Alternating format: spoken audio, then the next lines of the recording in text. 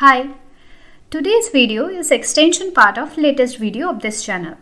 That is double staining method of Dracaena stem.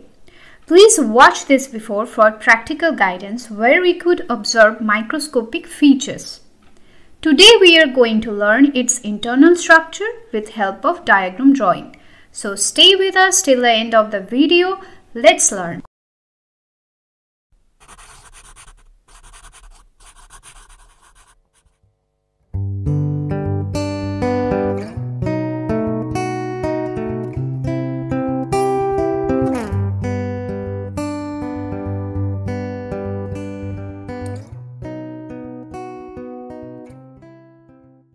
Normally, due to the absence of cambium, the monocotyledonous stem does not have any sort of secondary growth in thickness.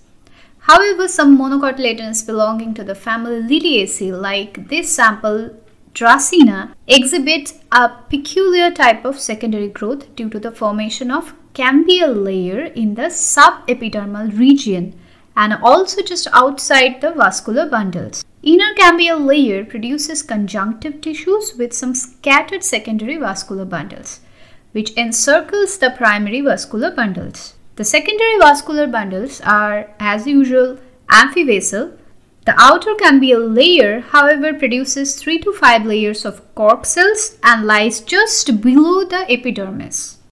This is the single layered ruptured epidermis here and there and it is cortex and it is mostly parenchymatous externally bounded by 3 to 5 layers of cork cells as I already said and internally by a cambial layer which produces conjunctive tissues.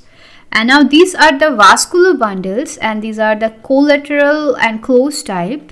The primary bundles are scattered at the central region of ground tissue and the secondary bundles are differentiated from conjunctive tissues and there is no pith.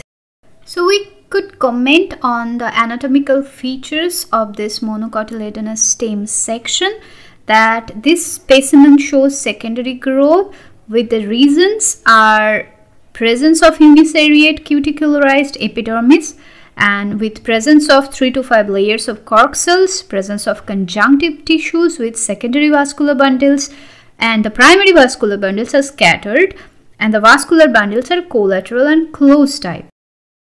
So we can conclude that the structural anomaly may be directly influenced by external environmental conditions and the woody climber and the storage organ show structural anomaly as well as abnormal secondary growth in thickness as they are different from the normal ones from morphological and physiological points of view.